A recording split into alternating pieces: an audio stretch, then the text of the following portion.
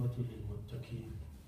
عباد الله أكثروا من الصلاة والسلام على خير البرية. نبي الهدى والرحمة.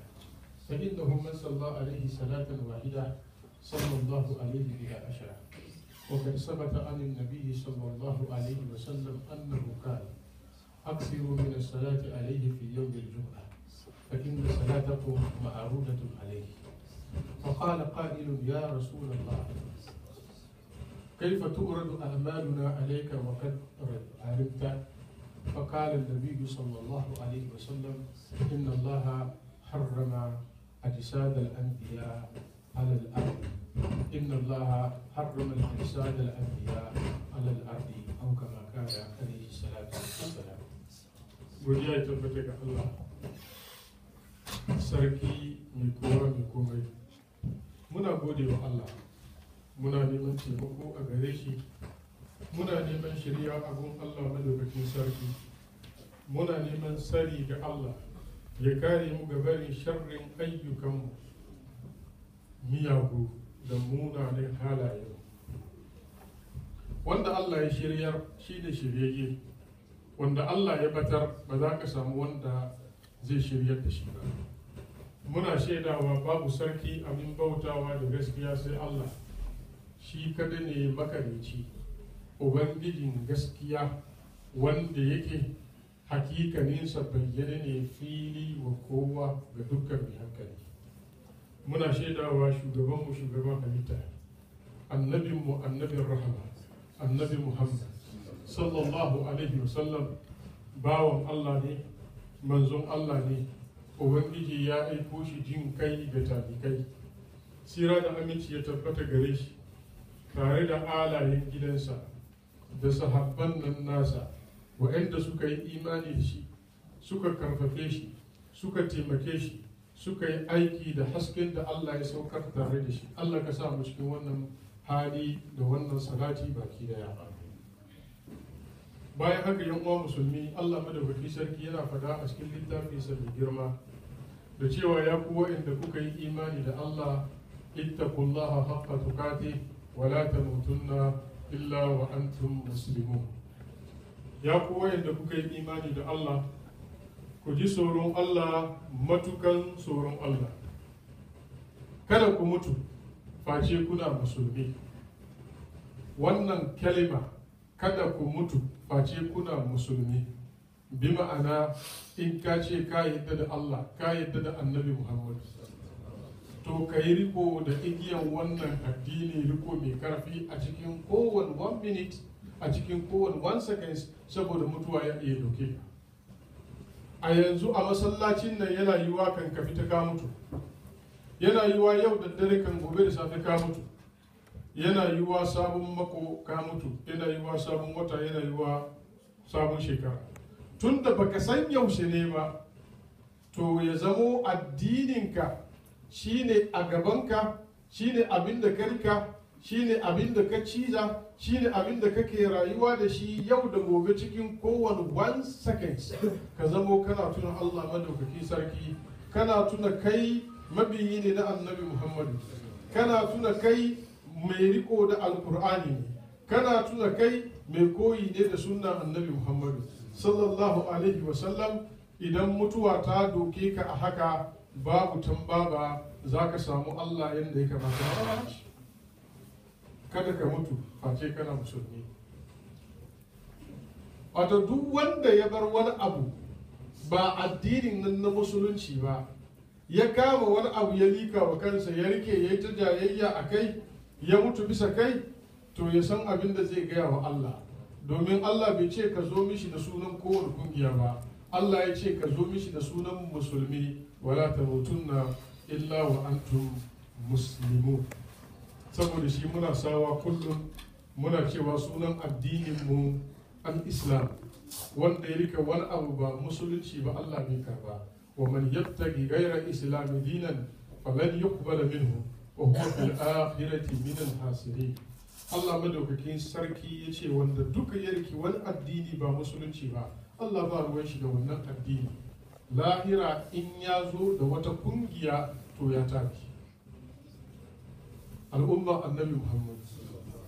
Da Allah ya gaya wa annabi sallallahu alaihi wasallam cewa yau ya cika muna addini sai ya ce mana wa raditu lakumul islam dinan. Na yadda muku cewa addinin musulunci shine addini. Allah bai kama sunan wani ƙungiya ba. annabin mu annabi Muhammad abinda Allah ya ce ya gaya mana قل إنما أمرت أن أعبد رب هذه البلدة التي حرمها وله كل شيء وأمرت أن أكون من المسلمين وأن أتلو القرآن كجاء musu ya kai annabi Muhammad an bani umarni in bauta wa ubangijin wannan gida ita ce Kaaba sannan kuma in kasance cikin musulmi ba cikin kowane ƙungiya ba. Annabi sallallahu alaihi wasallam saƙon da ya bar mana kul inna salati wa nuski wa mahayaya wa mamati lillahi rabbil alamin la sharika la wa bizalika umirtu wa ana awwalul muslimin. Wannan shine saƙon annabi muhammad. Shine qur'ani shine hadisi. Amma ƙungiya domin kalli da wa'yansu ɓangare cikin wani jama'a ya zama rarraba da fitina da tashin hankali to wallahi hasara ne bayan sa hasara. Allah ya kiyaye. Wala ta mutum da illa wa antum muslimun. Kai dai kaka je ka iske Allah da komi sai dai da sunan addinin Islam kuma kai musulmi ne. To in ka je lahira kai musulmi ne. Sa'an nan ka iske Allah da addinin Islam to ka ci kuma bukatar ka ya biya kuma ka samu lafiya amma ka daga flagan wani kungiya ka je ka hadu da Allah da shi to ka gaya wa Allah inda ya ce ka zo mai sunan kungiyoyi Allah ka kiyaye ubangiji yana cewa ya ayyuhan nasu taqu rabbakum allazi khalaqakum min nafsin wahida wa khalaqa minha zawjaha wa bassa minhuma rijalan kaseeran wa nisaa واتقوا الله الذي تساءلون به والأرham إن الله كان عليكم رقيبا ya ku waɗanda ku mutanen duniya baki ɗaya ku ji tsoron ubangijin wanda allah nan ya halicce ku daga rai guda daga wannan rai adamu ya mai mata awwa tsakanin hawa da adam allah ya yada maza da mata masu yawa. Saboda haka ku ji tsoron allah ku kiyaye zumunci. Abinda kuke aikatawa duka cikin kowane one seconds inna Allah kana alaikum rakiba. Allah yana dafin ku yana ganin abin da kuke aikata bayan Allah alqur'ani yana cewa ya ayyuhal ladzina amanu ittaqullaha wa qulu qawlan sadida. Yuslih lakum a'malakum wa yaghfir lakum dhunubakum. Wa man yuti Allah wa rasulahu faqad faza fawzan azima. Ya ku waɗanda kuka yi imani da Allah ku ji tsoron Allah. Ku faɗi magana na katari. Ku faɗi katari abin da zai fita bakinka ya zama alheri in ji annabi muhammad. Ya ce man kana yu'minu billahi wal yawmil akhir falyakul khairan aw liyasmut. Annabi muhammad sallallahu alaihi wasallam ya ce wanda duka yayi imani da Allah yayi imani da ranar tashin kiyama in ya buɗe baki ya faɗi alheri ko ya yi shiru. Ubangiji na cewa ku faɗi magana ta katari. Dukkan wanda zai buɗe harshen nan ya fidda lafazi ya yi wa kansa hisabi. Na farko idan yana da hankali ya tuna. Maganan nan da zai fita bakinsa in ta fita ta tafi kenan hal abada ba yadda za ta dawo kuma. Ka taba jin wani mutum ya faɗi wani magana amma kuma ya karɓi abin shi ya riƙe kowa bai ji ba? Ka taba ji? A an dai haka bai fada ba ne. An dai ka riga ka fita halshinka ya hurta to ta tafi. Wallahi idan alheri ne za ka ganta an sajjala ta cikin takardar aikin kiyama za ka yi murna da ita. In sharri ne za a sajjala ta sai dai in ka tuba. In baka tuba ba kiyama za ka ganta za ka yi bakin ciki. Wanzu Allah sallallahu alaihi wasallam ya ce rubba kalimatin yaqulu hal mar'u. La yarfa bihi ba'd. Ya'awi bihi fi nari jahannama sab'ina halifa annabi sallallahu alaihi wasallam ya ce a wata kalma wani lokaci wani mutum zai buɗe baki ya faɗi ya faɗi ma bai damu ba bai ma san ya faɗi ma wani magana ba bai ma kula da abin da ya faɗi ba. Annabi ce shine sababin da za a jefa shi a cikin wutar jahannama hal ku zuzzugun ramin jahannama su saba'in in ji annabi muhammad. Saboda shi ittaqullaha wa qulu qawlan sadida. Mutumin da ya sa tsoron Allah gaba yake auna kalban da ke fita bakinsa to ubangiji zai gyara sha'anin shi. Komansa zai tafi bisa kan saraki da sai yusri lakum a'malakum. Abinda ke zuwa baya wa yaghfir lakum zunubakum. Allah kuma zai yafe maka laifinka. Wanda duka yabi Allah yabi annabi Muhammad. To ya samu babban rabo. Yan uwa alqur'ani yana cewa ya ayyuhal ladzina amanu ittaqullaha wal tanzur nafsun ma qaddamat li ghadin wattaqullaha inna allaha khabirun bima ta'malun. Ya ku wa'anda kuka yi imani da Allah imani ta ƙwarai ku ji tsoron Allah. Kowace rai ta duba ta ga me take yi yau saboda gobe kiyama. Kakka damu da abin da ke faruwa na duniya. Nan gaba destination ba ne transit ne wallahi. Kana kan hanya ne ka wuce.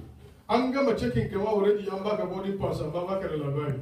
Idan mala'ikan mutuwa ya maka sallama rannan za ka san kama ashe akwai aiki. Kowa ya duba me yayi don gobe. Don gobe yaushe don gobe kiyama.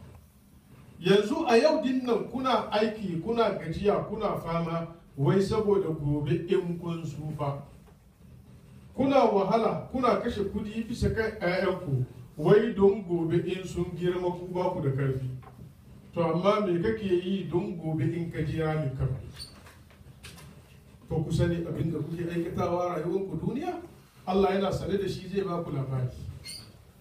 Al'umma annabi Muhammadu. Muna muku nasiha da riko da littafin Allah da riko da sunnan annabi Muhammadu. Alheri duka na cikin riko da sunna.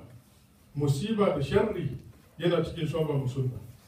Ku sani tun ran da kuka zo duniya wallahi kun kama hanyar tafiya ne za ku destination ku. Inda das destination ku yake shine ran da za ku haɗu da ubangijin ku. Ranar da kuka sauka bai aka kawo ka duniya in mata aifu jariri ya kuka rannan ka kama hanya zuwa kabari. Sa'an nan kuma ranar tashin kiyama za a kora ku gaban ubangijinku. A gaban Allah ne za a sai da kai kai kadai a yi maka hisabi. Kar ka yi kanka karya kar ka yaudari kanka kakkabar wani ya ka wallahi. Annabi muhammad ya ce la yazalu qadama abdin hatta yus'ala an arba ɗaya daga cikin ku kowane irin bawa kafansa ba zai gushe filin kiyama ba face an sai da shi an tambaye shi ababa guda huɗu. Kai kadai. Hutuban da manzo Allah sallallahu alaihi wasallam ya a farko a duniya manzo Allah sallallahu alaihi wasallam ya ce bawa zai saya gaban Allah laisa bainahu wa bainallahi tarjuman. Tsakaninka da Allah ba translator. Manzo Allah ya ce mutum zai duba dama da hagu bisa da kasa. Gefensa ko ina gabansa da baya inda yake saye daga wurin sai wurin ko ina ya duba ba wani abu ke gani ba shi wutar jahannama. Wani abu kaɗan ne kaucewa kawai magana ta riga ta kare kuma. Yasa kar yayi maka kaman ina cikin kungiyan kaza yan kungiyan kaza duka yan aljanna ne. Na zo ranar tashin kiyama ai ai vote ne she party kaza suka rubuta shi sa winner take all. Mu za mu rule parliament kai kadai kai kai kadai Allah zai sai da kai gaban shi ba ruwan shi cikin ƙungiyar da ka fito. Abinda ya dame shi me ke cikin zuciyanka wani aiki ka aikata. Saboda shi al'umma annabi Muhammad. Muna muku nasiha ku sani ranar tashin kiyama za ku gamu da Allah. Wanda ya yi kyakkyawan aiki Allah zai saka mishi da mafi kyau. Wanda ya yi mummuna Allah zai saka mai irin wanda ya kawo. Allah baya zalunci kowa. Man ja'a bil hasanati falahu ashru amsalha wa man ja'a bis sayyi'ati fala yujza illa misliha wa hum la yuzlamun. Wanda ya zo da mai kyau Allah madaukakin sarki zai ba shi goma ya kara mai ba lissafi. Wanda ya zo da mummuna irinsa za a bashi Allah bai cutar kowa. Ka duba ka gani aikin da kake yi mai kyau ne zuciyanka saboda Allah kake yi ci gaba da shi. Amma da sharadi ala ilmin wa basira.